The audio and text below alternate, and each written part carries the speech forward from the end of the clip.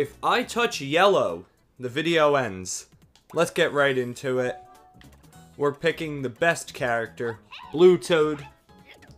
Well, I didn't mean to click B there. Oh well.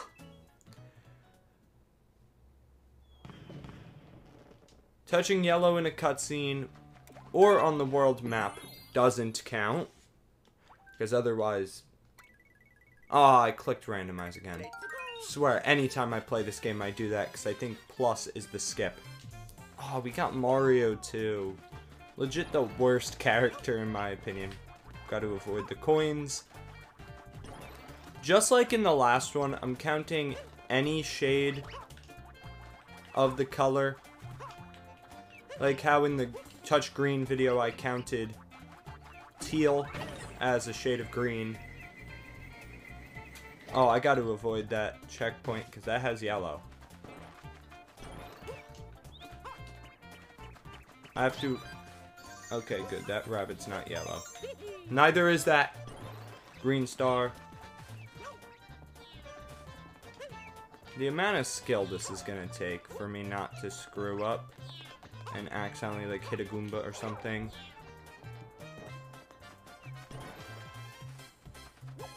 No way. And then I can't touch top of the flagpole because that's yellow. We actually beat a level. That's impressive. That is impressive.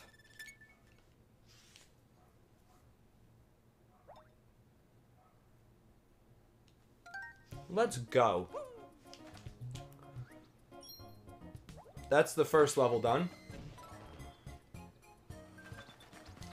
Here we go, level number two. You know what? Let's actually randomize characters. Let's go, we got Blue Toad. Yeah, I didn't want to overlaunch into the wall. We should be fine here. I don't think there is any yellow. Oh yeah, there's just Koopas. There's not a lot of those, so we should be fine. Just avoid the coins. Avoid the Koopa. Avoid the checkpoint. Avoid the Koopa. I was gonna say avoid the Goomba, but that's not yellow.